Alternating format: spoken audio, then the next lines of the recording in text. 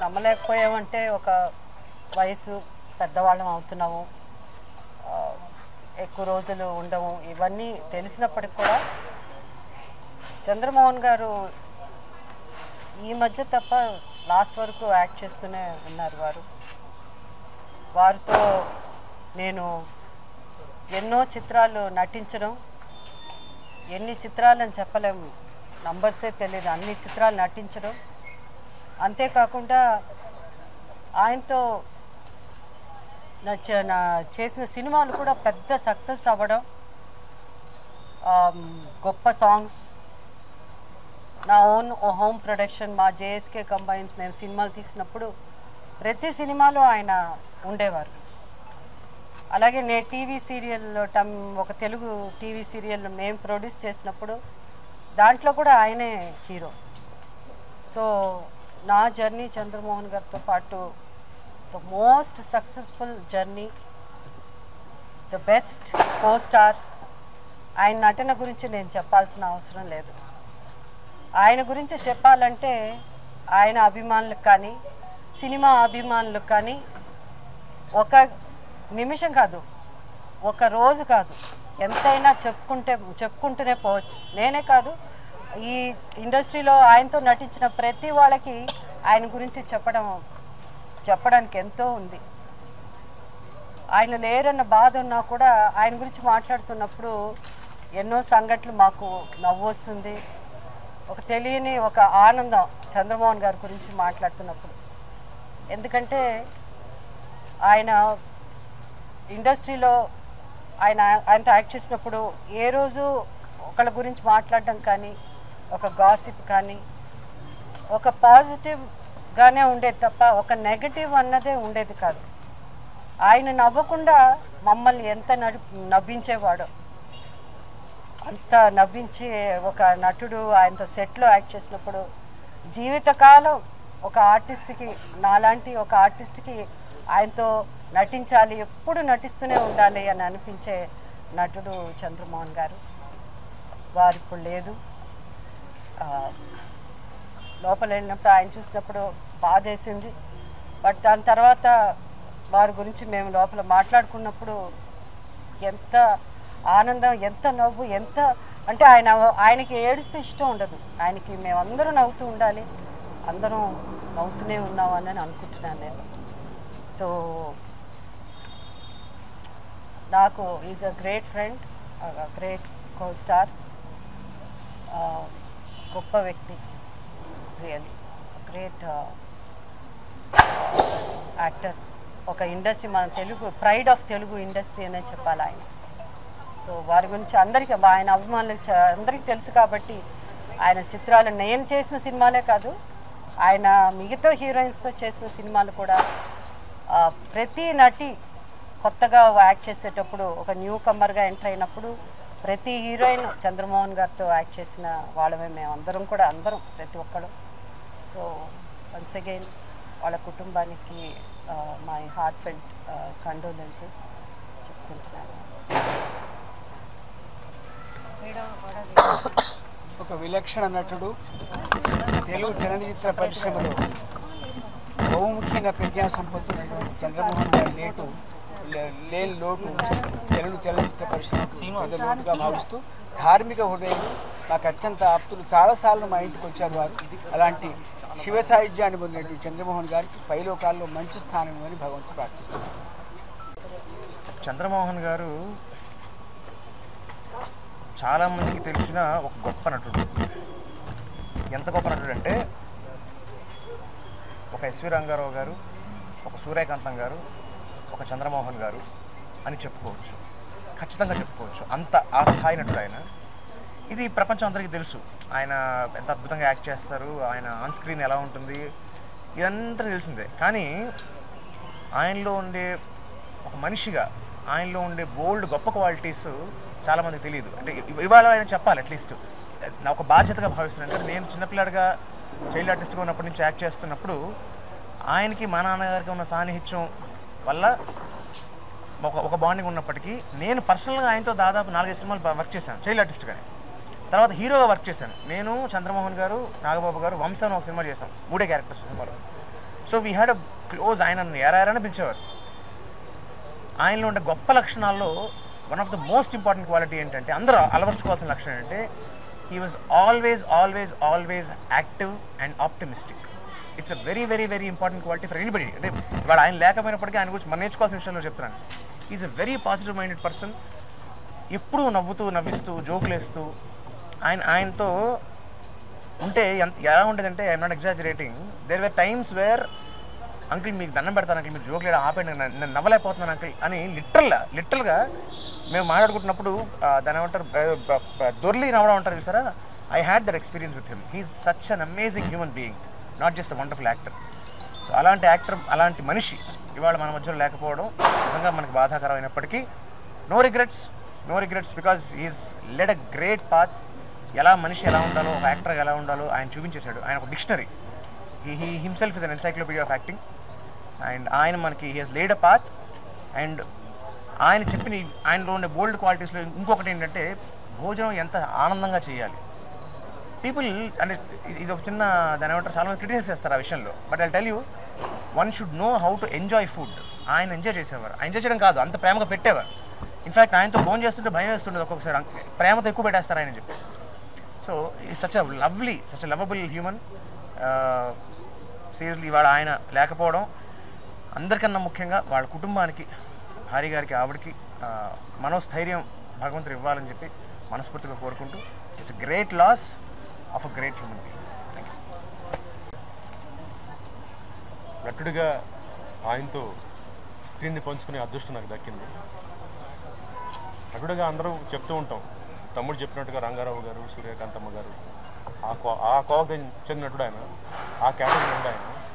ఆయనలో గొప్ప లక్షణం ఏంటంటే ఎప్పుడు పక్కవాళ్ళ గురించి అన్న డిస్కస్ చేసేవాడు కాదండి ఆయన ఎప్పుడు చెప్పాడు మనకి ఎందుకురా? మన పని మనం చేసుకెళ్ళిపోవాలి. అంటే చాలా గొప్ప లక్షణం ఒక నటుడికి. బేసిక్గా మనిషికి గొప్ప లక్షణం అందులో ఒక యాక్టర్కి చాలా గొప్ప లక్షణం. అంటే ఎవడు ఎలా ఉన్నా మన పని మనం చేసుకెళ్ళిపోవాలి. ఎప్పుడు ఆ సెట్లో ఇంకో యాక్టర్ గురించి కానీ ఒక యాక్ట్రెస్ గురించి కానీ డిస్కస్ చేసేవాళ్ళు కాదండి. చాలా గొప్ప లక్షణం. అది ఇప్పుడు వస్తున్న కొత్త నటింట్లు కానీ పాత వాళ్ళని అలవర్చుకుంటే మాత్రం ఇండస్ట్రీ ఇంకా బాగుంటుంది. డెఫినెట్గా మన తెలుగు సినిమా ఇండస్ట్రీకి ఎనభై తొంభై దశకాల్లో నటనకి రెండు కళ్ళు అంటే రాజేంద్ర ప్రసాద్ గారు చంద్రమోహన్ గారు అని చెప్పుకోవాలి. అందులో ఇవాళ ఒక కన్ను. మూసుకుంది. సో వాళ్ళ కుటుంబానికి నా ప్రగాఢ సానుభూతి వాళ్ళ లాస్ని తట్టుకోవాలని కోరుకుంటూ థ్యాంక్ యూ థ్యాంక్ యూ మహానటుడు. ఆయన ఆయన చేయలేని క్యారెక్టర్ లేదండి.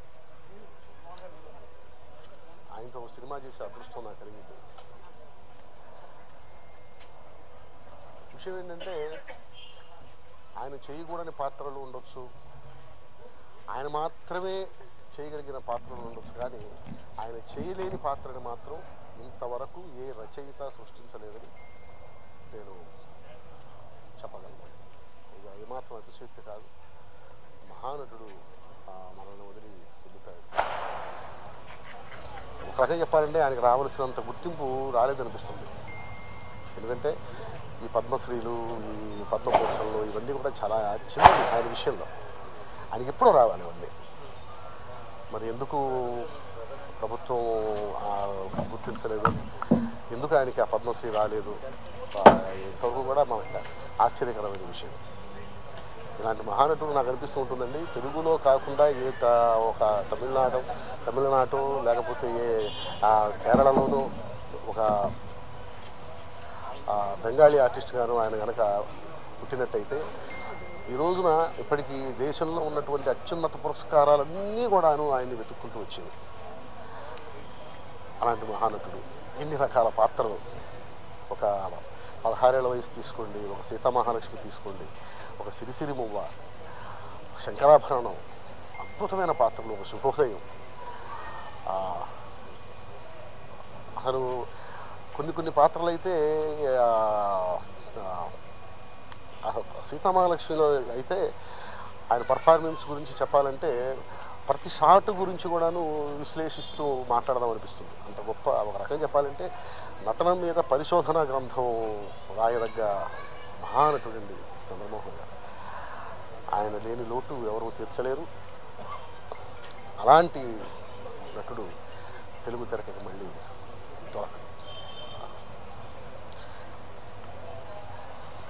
తరఫున తెలుగుదేశం పార్టీ తెలంగాణ రాష్ట్ర మహిళా అధ్యక్షురాలుగా ఈరోజు మేము చంద్రమోహన్ గారి పార్థివ దేహానికి నివాళులు అర్పించడానికి ఇక్కడ వచ్చారు. ఆయన చేయని యాక్ట్ ఇది లేదు పాత్ర లేదు.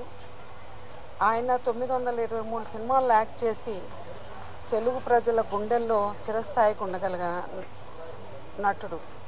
ఇటువంటి నటుడు పోయారంటే మేమందరం చాలా బాధపడ్డాం.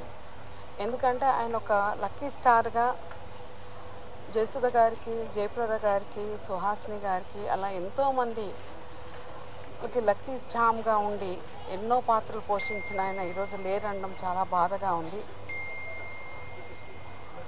ఆయన నాట్యానికి ఒక గ్రంథం లాగా అని చెప్పచ్చు. ఎందుకంటే ఎన్నో ఎన్నో రకాల విభిన్న పాత్రలు చేస్తూ ఎంతోమందిని రంజింపజేస్తూ నాట్యం అంటే ఇలా ఉంటుంది ఆ పాత్రలు వైవిధ్యమైన పాత్రలన్నీ పోషించారు కాబట్టి ఈరోజు తెలుగువారు ప్రతి ఒక్కరూ బాధపడుతూ ఆయన ఆత్మకి శాంతి చేకూరాలని కోరుకుంటూ ఈరోజు మేము తెలుగుదేశం పార్టీ తరఫున ఇక్కడికి వచ్చి నివాళులు అర్పించాము. మళ్ళీ ఇంకోసారి ఆయన ఆత్మకు శాంతి చేకూరాలని మనస్ఫూర్తిగా కోరుకుంటున్నాం.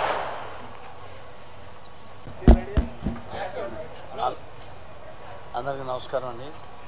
ఈరోజు చాలా ఇండస్ట్రీకే తీరని లోటు జరిగింది. ఒక గొప్ప నటుడు చంద్రమోహన్ గారు అంటే ఒక అందరికీ తెలుసు చంద్రమోహన్ గారు అంటే కానీ అన్ని క్యారెక్టర్లు చేసినటువంటి గొప్ప నటుడు.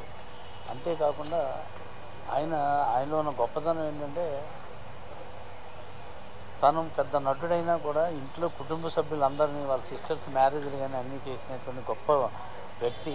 ఎందుకంటే ఆయనకి నాకు చాలా సాన్నిహిత్యం ఉంది.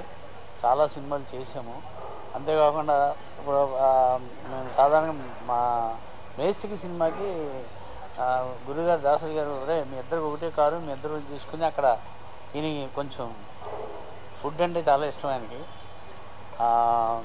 మన వనస్థలిపురం దగ్గర దుర్గా విలాస్ అని ఉంటుంది చిన్నది చెట్టు కింద ఒక హోటల్. అక్కడికి వెళ్ళి అక్కడ ఇనికి అన్నయ్య నీకు ఏం కావాలంటే వడ ఇడ్లీ పూరి ఇలా తిని అప్పుడు షూటింగ్ వెళ్ళేవాళ్ళం రామోజీ ఫిల్మ్స్కి అలాగే మేము ఒక దాదాపు ఒక సంవత్సరం అలాగా బాగా జర్నీ చేసాం అంతేకాకుండా నా పుట్టినరోజు వస్తే మా ఇంటికి రావటం మా మా మిస్సెస్ని తనకి ఇష్టమైనవి వండించుకొని తింటాం. అయినా మీకు అందరికీ తెలుసు చంద్రమోహన్ గారు అంటే ఎక్కువ భోజన ప్రియుడు అండి. బోధన ప్రియుడే కాకుండా మంచి స్నేహితుడు కూడానండి. ఇలా ఉండాలి ఇండస్ట్రీలో ఇలా ఉండాలి ఇంకో ఈ డబ్బులు ఇలా దాయాలి ఇదని చెప్పి నాకు ఇప్పటివరకు ఇప్పటికే గుర్తే నువ్వు దానాలు చేస్తావు అది కాదు అనేసి ఆయన నా అస్తవాసం మంచిది. సోహన్ బాబు గారే ఏదైనా సైట్ కొనాలంటే నా దగ్గర డబ్బులు తీసుకుని సెంటిమెంట్గా దాంతో కొనేవాడు. ఇదిగని చెప్పి మా ఆయన సొంత డబ్బులు ఇచ్చి నాకు మూట కట్టి బీరువాలో పెట్టాడు. ఇప్పటికే బీరువాలో ఉంది. అంత గొప్ప వ్యక్తి అతను. నాకు అంత స్నేహం ఆయన. రెండోది ఏంటంటే ఒక ఇంకొక ఒక ఎవరన్నా పోవలసిందే కానీ ఆయన త్వరగా చనిపోవడం అనేది బాధాకరమైన విషయం. ఇండస్ట్రీ మొత్తానికి తీరని లోటు. ఎన్నెన్ని ఎన్ని బ్రహ్మాండమైన కావ్యం కావ్యం లాంటి సినిమాలు చేశాడు ఆయన. కానీ అంటే ఒక అందుకు ఏంటంటే మనిషికి రోగంతో బాధపడి అందరినీ బాధపెట్టే బదులు ఆయన ఆ, బాధ నుంచి విముక్తి పొందాడు అనుకోవాలి ఈరోజు కానీ ఆ గొప్ప వ్యక్తిని మళ్ళీ మళ్ళీ అటువంటి నటులు మనకి దొరకరు. మాకు ఇండస్ట్రీలో మూవీ ఆర్టిస్ట్ అసోసియేషన్ తరఫున నిజంగా మా విష్ణు గారు ఇక్కడ లేరు. న్యూజిలాండ్లో షూటింగ్లో ఉన్నారు. రఘుబాబు గారు కానీ శివబాలాజీ కానీ అందరూ న్యూజిలాండ్లో ఉండటం వల్ల వాళ్ళ ఎవరో కూడా రాలేకపోయారు. అయినా కూడా ఆయనకి ఏ లోటు లేకుండా ఆయన కార్యక్రమాన్ని మేము దగ్గరుండి చేస్తాము. కానీ ఒక రకంగా బాధగా ఉన్నా కూడా ఆ గొప్ప వ్యక్తి మన నుంచి లేరేటప్పటికీ మానసికమైన బాధ మాకుంది. ఆయన ఆత్మకి శాంతి కలగాలని కోరుకున్నాను